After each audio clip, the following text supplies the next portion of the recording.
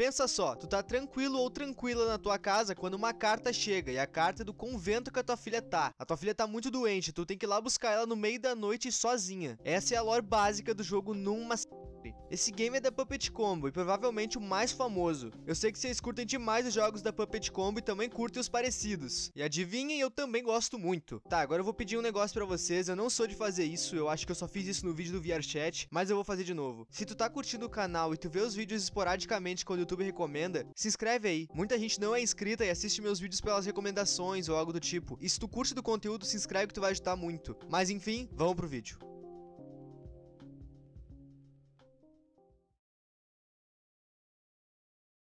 No game tem como tu iniciar direto no convento já, que é onde a porra toda acontece. Mas como a gente quer distância disso, a gente vai fazer a introdução do jogo. O jogo se inicia com a nossa personagem na banheira da casa dela, bem tranquila. A gente ouve um som vindo do corredor, e logo depois de ouvir esse som, a opção de levantar da banheira aparece. Logo que a gente entra no corredor, a gente vai dar de cara com uma luz muito forte, é quase uma lâmpada no chão, mas a gente já olha isso. Nesse corredor tem três portas, e somente uma abre. Nessa porta que abre tem um quarto, lá dentro tem uma cama e um palhaço numa cômoda. Eu pelo menos acho que é um palhaço. Não tem como entrar lá dentro, só consegue ver de fora mesmo. Aquela Aquela luz no chão se trata de uma carta. Sempre que o game quiser te indicar algum coletável, algo que tu pode interagir, essa luz vai estar gigantesca na tela. E olhando assim, parece uma opção bem ruim do criador do jogo, mas jogando o jogo isso aqui é muito útil. Eu achei bom demais. Olhando de primeiro parece ruim, mas jogando funciona muito bem até. Quando a gente interage com essa luz, se trata de uma carta. Essa carta explica o porquê da gente estar indo até o convento. A nossa filha, que tá lá, ficou muito doente. E a freira, que cuida do convento, pediu pra gente ir lá ver a nossa filha. Logo que a gente pega a carta, a gente é teletransportado pra um local no meio do nada. Aconteceu tipo um flash travel, tá ligado? A gente já tá perto do convento. No meio do nada, na noite, tá chovendo e a gente tá sozinho. Mas enfim, a estrada tá bloqueada, o que faz a gente prosseguir o resto do caminho a pé. E é um caminho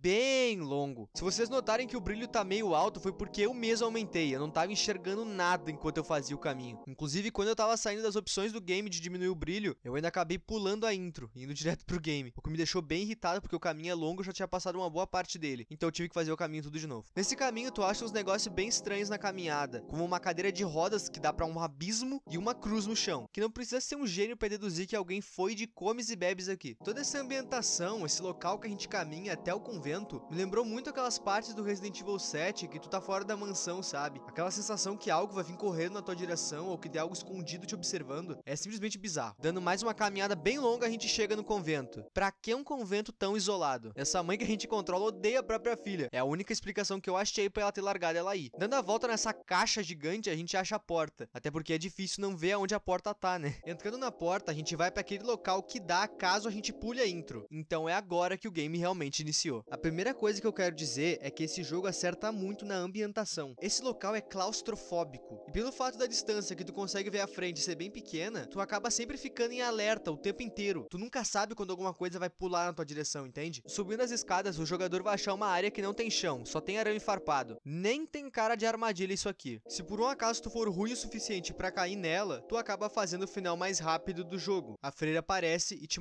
e certamente não é esse o nosso objetivo. Se por um acaso o jogador não subir a escadaria inteira, ele vai chegar numa porta. Entrando nessa porta, ele vai ter vários quartos para ele poder explorar. Esse jogo tem diversas mecânicas muito da horas. Eu vou dar exemplo de uma. Tem uma porta no jogo que ela tá trancada, mas ela tem um vidro. O jogador em certa parte vai encontrar uma pedra, ele pode jogar nessa vidraça, quebrando ela assim, e passando a mão pro lado de dentro da porta, ele consegue girar a maçaneta e abrir. E isso é uma coisa que tu tem que prestar muita atenção. Maçaneta. Todas as portas desse jogo tu abre com os peitos. Tu vai indo e a porta abre. Porém, algumas portas vão ter uma maçaneta minúscula e que se camufla na porta. E saber da existência dessas maçanetas é crucial para te não morrer, porque pode acontecer de tu tá fugindo da freira, ver uma porta e tentar abrir ela com os peitos como todas as outras e ela vai estar tá travada. Mas não, ela não vai estar tá travada, tu precisa girar a maçaneta, como qualquer porta no mundo real. Então, algumas portas desse jogo tu abre empurrando, outras tu tem que encontrar a maçaneta. Nesse jogo também tem o sistema de clips. Se tu acha clipes de papel, tu pode usar eles para arrombar portas. Só que além do clipe de papel, tem que ter mais uma chave L. Eu acho que é esse o nome disso. Só que para ti conseguir essa chave L, tu precisa achar um martelo que serve para ti conseguir tirar as tábuas de uma porta. Para dentro dessa sala tem um limpador de pia para te poder limpar a pia e assim a chave L cair no andar de baixo. E adivinha quem é que te falou que existe uma chave L numa pia? A filha do jogador, através das cartas. Vocês estão entendendo quão complexo esse jogo é? Como eu citei, esse game é extremamente escuro e para dar uma aliviada nisso, o primeiro item que o jogo vai dar pro player é um isqueiro. Dando uma olhada em todos os quartos, o player vai achar mais algumas cartas. Essas cartas são o diário da nossa filha no jogo. Ela descreve o que a freira fez para ela, e são coisas bem maldosas. E à medida que o game vai se indo, as cartas vão nos dando dicas do que fazer. Tipo a parada da pia ali, que eu citei agorinha. Vasculhando a área, logo o jogador vai achar um banheiro, e lá dentro vai ter uma tábua. Dedução lógica, a gente vai usar essa tábua de ponte, e bingo. Agora o player tem uma área gigante para explorar no game. Esse game tem vários finais, e é aquele tipo de jogo que tem diversas coisas para fazer ao mesmo tempo. Se tu resolve pegar tal item, tu acaba fazendo tal coisa que libera tal final. Mas tu resolve pegar esse item aqui, tu abre outra coisa e abre outro final, entende? É bem nesse estilo. Enquanto eu jogava, eu tentei fazer várias coisas ao mesmo tempo e acabei não conseguindo resolver quase nenhuma. Tinha momentos que eu entrava no duto de ventilação e a freira vinha atrás de mim. Sim, ela entra dentro do duto. Tinha vezes que enquanto eu tava resolvendo um enigma, eu lembrava de outro que eu deixei meia boca e que eu já podia resolver, então eu parava tudo que tava fazendo e ia resolver aquilo lá. E assim eu ficava nessa indecisão do que, que eu ia fazer primeiro. E isso acabava me deixando bem aflito enquanto eu jogava. Fora toda a ambientação do jogo.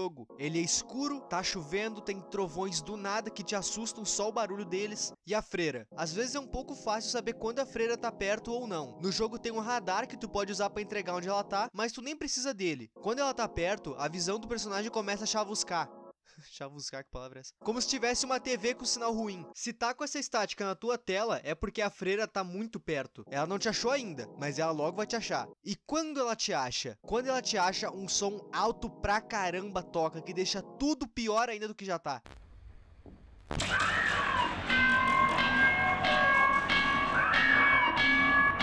game nesse estilo que eu vi se popularizar pra caramba foi Granny. Quando esse game estourou, eu tava no ensino médio. Eu ainda lembro que todo santo moleque que tinha um celular que minimamente funcionasse tava jogando esse jogo. Eu digo minimamente funcionasse porque esse jogo roda até num pão. Pra poder me enturmar, eu baixei ele no meu celular. E meu Deus, que jogo difícil. Essa sensação que tem alguém te caçando e que tu tá em defesa é genial. Uma casa inteira pra te explorar na ordem que tu acha que tem que ser feita dá uma sensação de solidão e desespero gigante. Só que esses jogos que funcionam desse jeito estão sempre de mãos dadas com uma mecânica que eu odeio. É sério, todo jogo que é assim tem essa mecânica, que é a mecânica pega a coisinha, usa em tal lugar para conseguir mais uma coisinha. Eu me sinto burro nesse tipo de jogo. E eu juro para vocês, eu me esforçava, eu tentava. Eu pegava o joguinho da Granny, via tutorial detonado e tem o final da porta e tem o final do Fusca e tem mais uma um desgraça de... e tem mais um monte de finais que eu nem sei como que faz eles no jogo e eu não consigo fazer nenhum. E bom, meus amigos, assim a gente chega em numa esse game bebe muito da fonte de Granny. Sim, tu não ouviu errado, pra mim numa se inspirou sim em Granny, mas não é uma cópia, o game é bem diferente, mas tem uma inspiração. Granny foi um sucesso gigantesco e ser o primeiro que numa mas enfim, eu achei que ia ser moleza eu terminar numa e narrar minha jornada até o bendito final que eu conseguisse alcançar. Mas adivinhe, eu não consegui. Eu fiquei tão irritado que chegou um ponto que eu simplesmente fechei o jogo e saí de casa para comprar algo para me comer. Acreditem ou não, eram 5 horas da tarde esse momento que eu estou gravando. Entrei no mercado, peguei o maior mal da minha vida e o melhor salgadinho do mundo: Doritos. Se liga, eu aposto que tu não tem a carta do McLovin na tua carteira. Pois eu tenho. Sim, eu sou um cara muito foda. Paguei e voltei para casa. Depois de comer, eu dormi. E no dia seguinte, por algum motivo, eu acordei com uma esperança gigantesca que eu ia conseguir fazer pelo menos um final decente desse jogo. E dessa vez eu tava determinado. Eu vi algumas gameplays de walkthrough não sei o que lá e decidi. De hoje, esse game não passa. Mas eu não ia fazer isso sozinho. Eu abri uma live no meu canal secundário. Sim, se tu não sabe, eu tenho um canal secundário onde eu zero games que vão virar vídeos para esse canal aqui. Tá perdendo maior barata, hein? Nessa minha segunda jogada, eu consegui consegui resolver mais puzzles desse jogo, mas a maioria deles era naquele estilo de atravessar o mapa umas 600 vezes para coletar coisas e largar elas em certos locais. E sinceramente, isso se torna meio repetitivo na 25ª vez, sabe? Mas a parte boa é que pelo menos o game faz tu sentir que tu tá evoluindo toda vez que tu termina um puzzle. Isso porque a maioria das recompensas que tu ganha quando tu resolve um é, por exemplo, a chave para resolver outro. O game também dá esse sentimento de evolução na freira. À medida que o player avança com os itens, a freira parece que fica mais inteligente. Tipo, olha esse trecho aqui que eu tava me escondendo da freira num local que ela não consegue ir e ela dá a volta no mapa para me pegar antes que eu mesmo entendesse o que ela tava tentando fazer. Será que ela entra aqui? Aí, ó, vem cá, ô trouxa. Pra onde é que ela foi? Eu tava convicto que essa play ia dar bom, porque lembra que eu citei que eu me sentia burro nesses jogos? Incrivelmente eu tava me sentindo extremamente inteligente dessa vez. Eu tava resolvendo os puzzles bem rápido e de forma certeira, e o principal, usando pouco da minha massa cefálica. Bom, foi logo depois de eu resolver esse puzzle que eu voltei a me sentir burro. Não me aprofundando muito, abrindo o cadeado eu peguei uma vela e botei no altar e precisava de outra. E tá, para chegar nesse cadeado eu fiz várias coisas, porque tinha itens que precisavam ser colocados em certos locais do meu inventário, o que sempre me deixava pensando, beleza, eu ainda tenho que fazer. Mas depois dessa parte, eu simplesmente estava sem itens. O que diabos eu faço agora? Eu fiquei completamente perdido. Mas tu tá achando que eu desisti? Nananina não. Eu inclusive consegui um dos finais desse jogo nessa play. Nesse final que eu fiz, tu acaba morrendo por uma criaturinha dentro de um duto de ventilação. Sem sacanagem. Isso é realmente um final desse jogo. E bom, depois dessa triste perda pela segunda vez, eu desisti de vez desse jogo. Provavelmente alguém vai comentar aí, Ife, por que você não pega uma gameplay do YouTube? Porque eu queria zerar o game, dar a minha experiência com ele. E eu já tava vendo que eu não ia conseguir, porque eu preciso postar vídeo toda segunda-feira. E já era sexta-feira e não tinha conseguido nem a gameplay do vídeo que eu ia falar sobre. Então esse vídeo ia acabar atrasando. Então eu pensei comigo, porque eu simplesmente não pego essa minha péssima experiência com o jogo, que abre aspas, é culpa minha, o jogo é ótimo. Eu que sou uma porta para esse tipo de jogo. E não narro ela mesmo assim. Eu posso dar a minha review até onde eu cheguei. Eu acreditei que fosse dar um bom entretenimento e eu espero que tenha dado. Mas calma que ainda não acabou. Esses jogos são muito bons. Eu amo assistir esse tipo de jogo. Então eu resolvi dar uma review de tudo que eu consegui experimentar desse jogo. E para falar bem a verdade, foi bem divertido. Só se tornou chato para mim porque virou repetitivo, porque eu não conseguia avançar no game. Mas se eu vou assistir alguém jogar esse jogo, eu vou adorar, porque o meu problema não tá no jogo, mas sim com a minha dificuldade nele, entendem?